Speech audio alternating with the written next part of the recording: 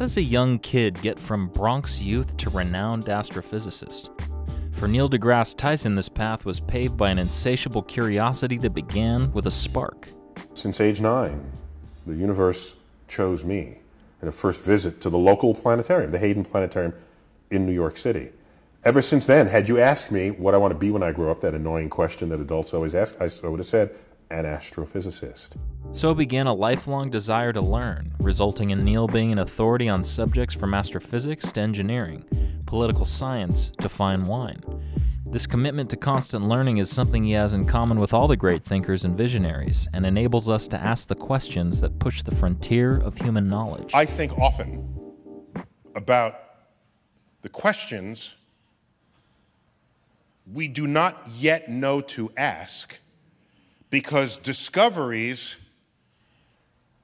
yet to come, but when they arrive, will put us in a new vista, a new place to stand, enabling us to see questions undreamt of and unimagined before we got there. Our greatest achievements as a species come from asking these types of questions and the curious spirit that drives it.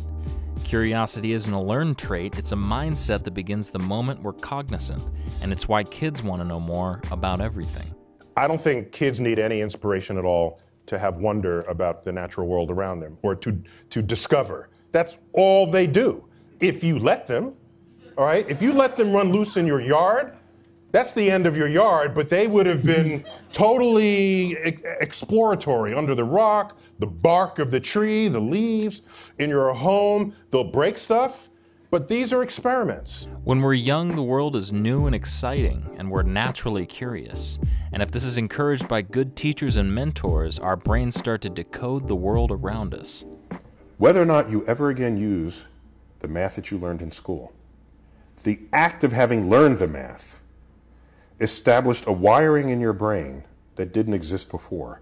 And it's the wiring in your brain that makes you the problem solver. Expanding that logical, critical thinking part of the brain sets off chain reactions of questions that we may ponder for the rest of our lives. And if this isn't nurtured and protected, we start taking things at face value, simply what it is and not why it is. At some point, all that's beaten out of us. In school, we only think of knowledge. Let me pour this, let me unzip your head and pour knowledge in. Mm-hmm. And then give it back to me on a test, and then you've done well. Mm-hmm, mm-hmm. Where's the analysis? Where is the interpretation? The Socratic method. Where is yeah. that interaction right. with that knowledge? That is the expression of curiosity. The expression itself can be the hardest part. Sometimes we're discouraged and even criticized for asking questions, so we turn to the familiar, the acceptable. But this isn't how breakthroughs happen. When you actively keep that curious spirit alive, your brain is wired to be active and observant instead of passive and complacent. You're constantly opening new doors to opportunities and new ways of thinking, exposing yourself to the exciting, the fresh, the mind blowing. We have such a limited range of cosmic life experience.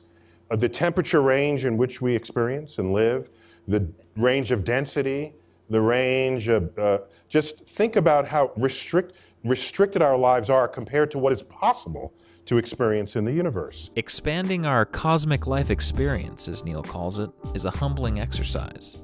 By constantly seeking out new information objectively and logically, we quickly realize that the more we know, the more we don't know, and consequently, the more we want to know.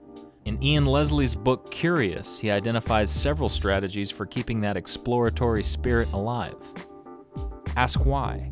For such a simple question, it can lead to profound answers, and yet it's often one of the hardest to ask. Maybe we don't want to look dumb or we think we know the answer already, but a well timed why can be the difference between frustration and understanding. Read.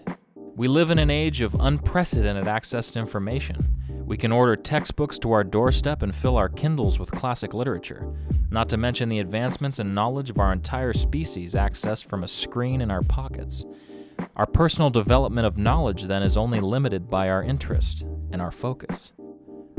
Learn different ways. The best way for new knowledge to stick is to tackle it from a few different angles, mixing lab and lecture, concrete and abstract, big picture, and little details.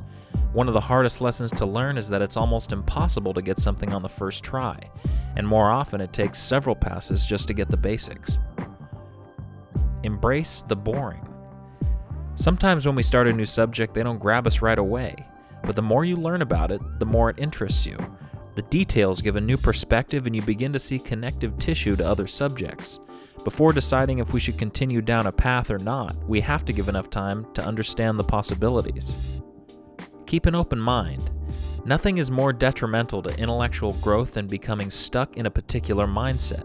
If we don't challenge our own views by at least considering the alternatives, it's very easy to become stuck in that stagnating mentality. Curiosity is looking out at the universe in wonder. It's asking the big questions and the small questions. It's understanding the familiar and then pushing out into the frontier.